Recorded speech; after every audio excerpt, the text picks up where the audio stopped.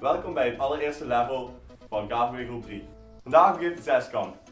Er zijn heel veel minigames en jullie moeten proberen zoveel mogelijk muntjes te verdienen. Veel succes vandaag!